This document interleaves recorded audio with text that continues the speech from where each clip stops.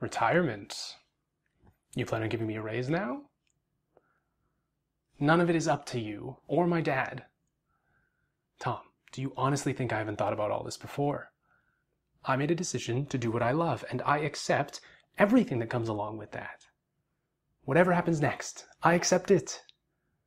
This is what theater is. It's joy one day and it's gone the next.